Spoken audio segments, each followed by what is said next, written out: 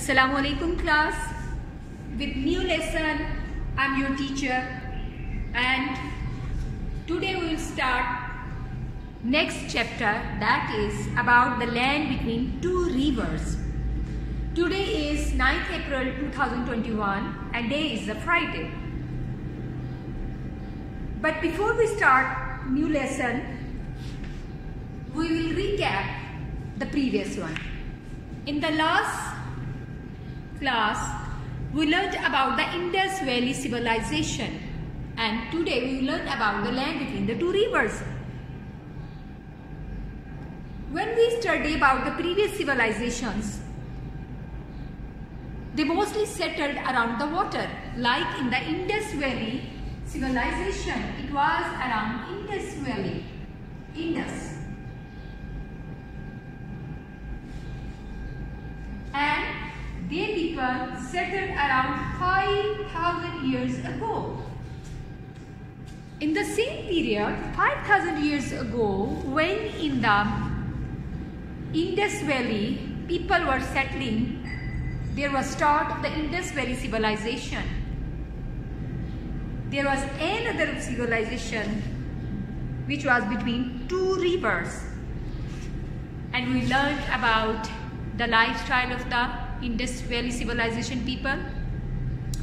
We learned about their religious beliefs, their lifestyle, their construction pattern. We learned about their art. And then we learned about different theories, how Indus Valley civilization came to an end. So that was the previous lesson and today when we will start to learn about this civilization first we see the two rivers due to which people settled around this. If we look at the book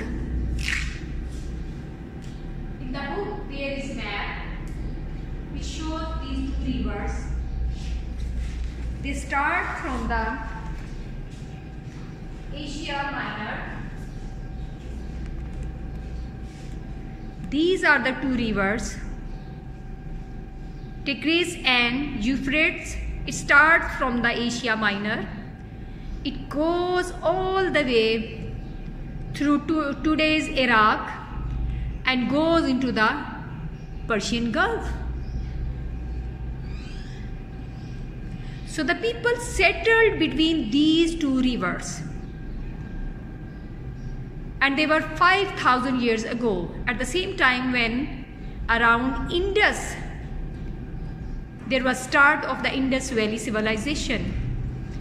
There was start of Mesopotamia civilization. This civilization between the land between the two between two rivers was called Mesopotamia civilization. So Mesopotamia is a basically Greek word which means between two rivers. Mesopotamia.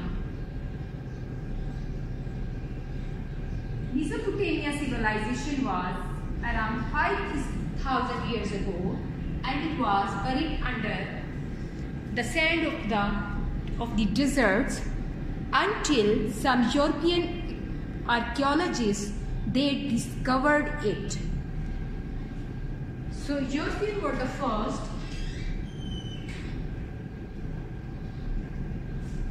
who discovered this civilization.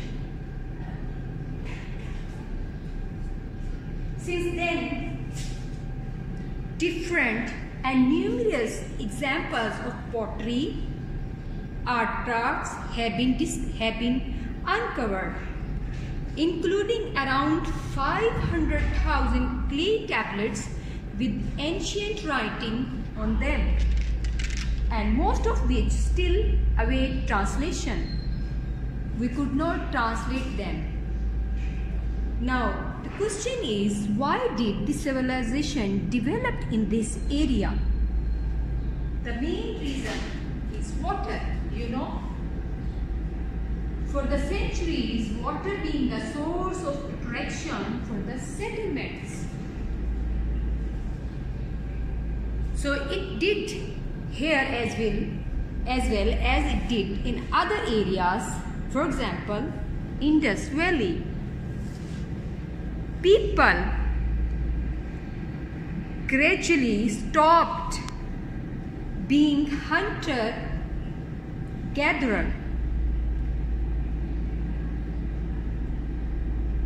They stopped moving from place to place to hunt animals or to gather berries for food and switched to living in one settlement. They started growing crops and herding animals instead. The upper part of the Mesopotamia, which means as I told you, the land between two rivers, and it's a Greek word, was a great place for early farmers to settle in villages. If we look at the map, the upper part was very suitable for the settlement, while the lower part, because of being marshy, was not suitable as much for the farming. So this is the upper part and then is the lower part.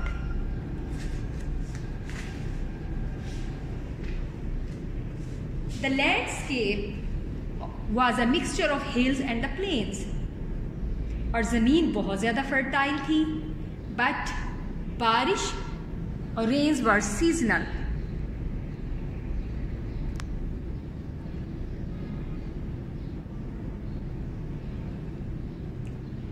People could also use timber, metal and stone from nearby mountains.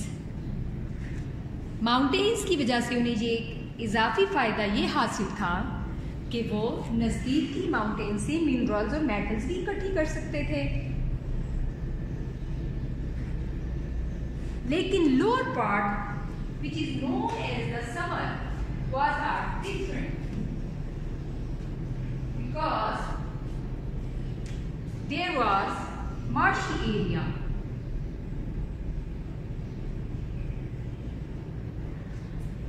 It was a marshy area near the great rivers and flat barren plains. That's why यहाँ पर farmers को channels डिग करने पड़ते थे ताकि वो river से पानी ले जाकर अपनी फ़सलों को इरिगेट कर सकें और नेचुरल रिसोर्सेज बहुत कम थे, जिसकी वजह से they started trade and exchange of the good with people from other areas. Lekin with the passage of the time, farmers in Sumer produced enough food to feed everyone, which means that people could more than just farming. For example, exchanging good food they did not need for other goods.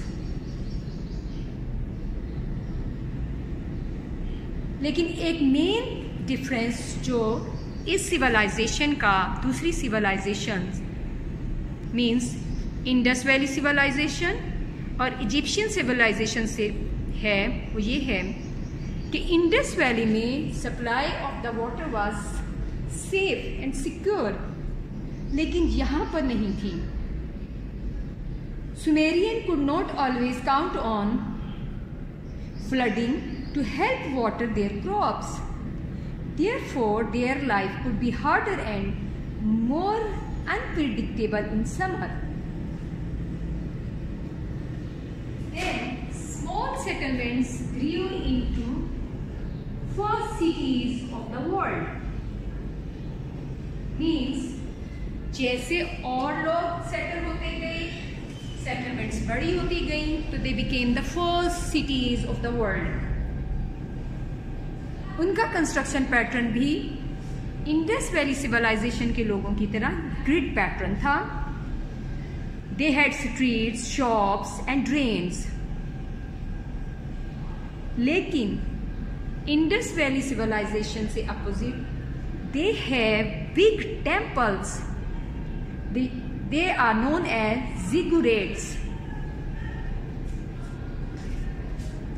although there were not bricks common but they used to make their temples with baked bricks. Of artist reconstruction of the temples. You can see high walls baked bricks plantation stairs the earliest temple was built in the city of the Urk and these temples were called ziggurats. They were huge and very important in the life of the people. That's why their location was very important.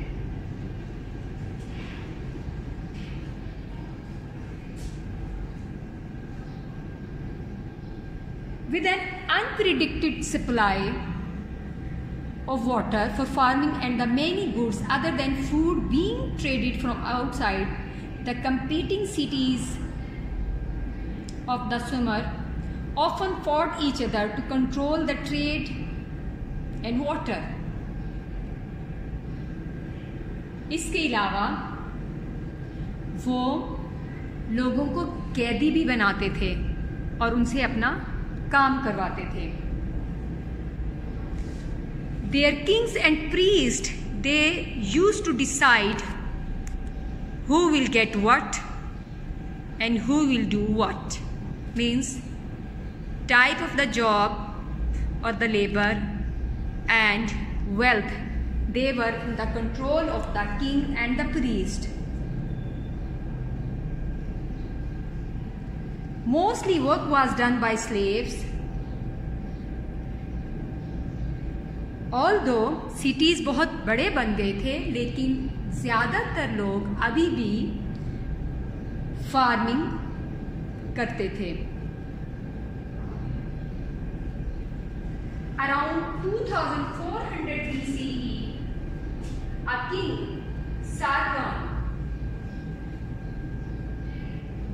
King Sargon 2400 BCE ruled He ruled northern Mesopotamia city of Akkad and he succeeded in uniting all the Sumerian cities into one empire called Akkadian Empire. Sargon united his empire using methods that later rulers copied. He built roads between his conquered cities improved trade and made it easier to move troops around to crush invasions. So the king Sargon was the ruler. He started the Akkadian Empire around 2400 BC. He ruled the northern Mesopotamia. If we look at the map, so he was ruler of the northern Mesopotamia, northern part of this area.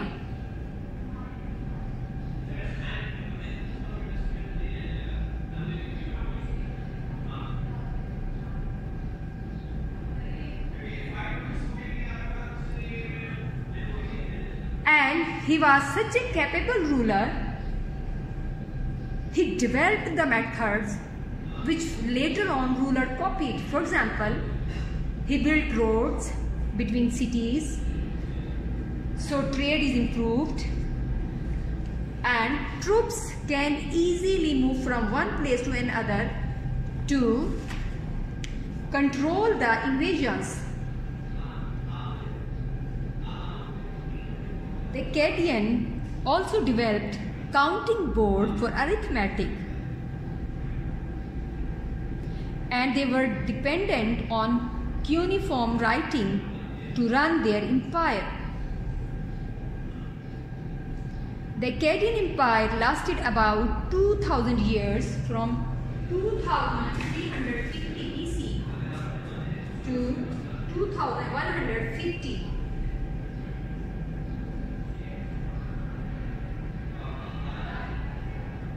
So this was the period when this empire starting from the king Sargon continued.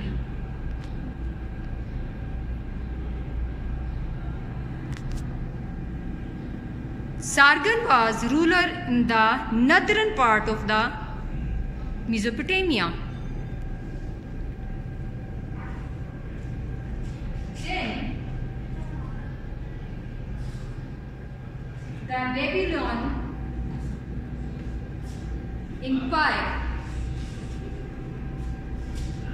In Babylon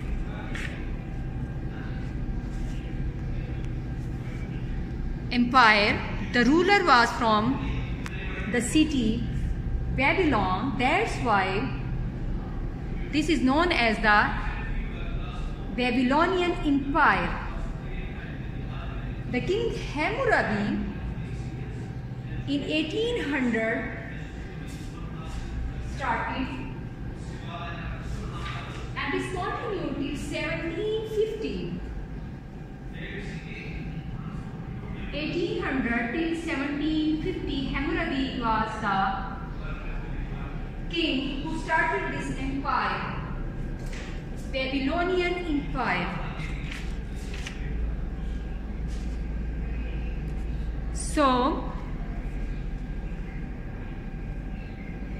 he published a code of law in the name of the gods with strict punishment set out for different crimes.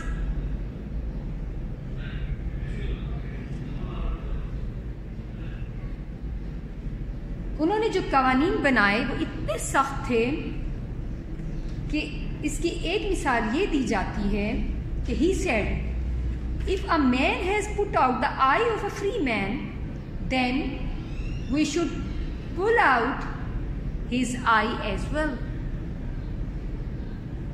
And we can see the empire of the Babylonian era. The green color it shows how vast this empire was not only Mesopotamia region, but other areas were also the part of this empire.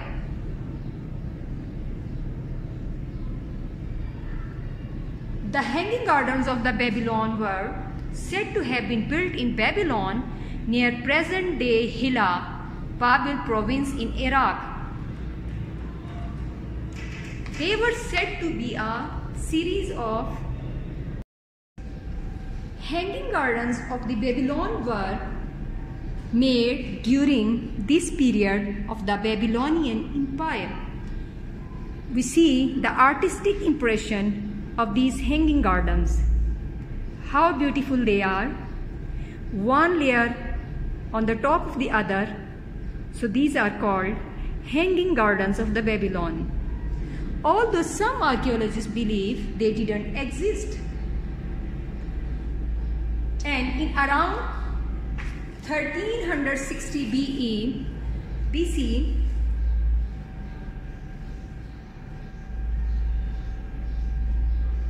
other people from the city of the Ashur called Assyrian established a new empire across northern Mesopotamia. The main reason for their success was they had well-organized army. So, this is all about the land between the two rivers. This civilization started 5000 years ago. This is the same time when Indus Valley civilization started. This civilization is called Mesopotamia civilization and the European were the first one who discovered this civilization and the water was the main source for the settlement of these areas and the Sumer was the main city. They had very defined construction material. They had large temples called ziggurats. They were made up of baked bricks.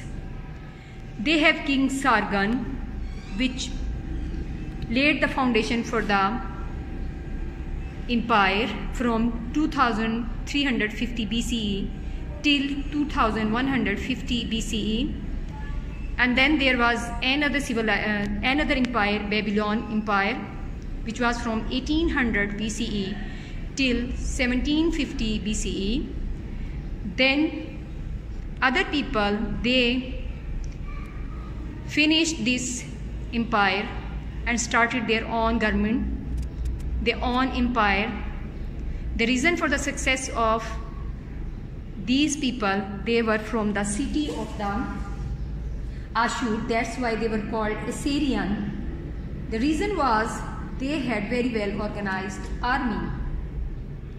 And Assyrian became expert at siege of the warfare, mining underneath their enemies, the walls, climbing over them with ladder and breaking them down with siege towers and battering rams and the Assyrian Empire lasted from 934 till 610 BCE. So this was all about different empires of the Mesopotamia that was the land between two rivers Tigris and Euphrates. So I hope you enjoyed this lesson. Till next lesson, Allah Hafiz, Assalamu alaikum.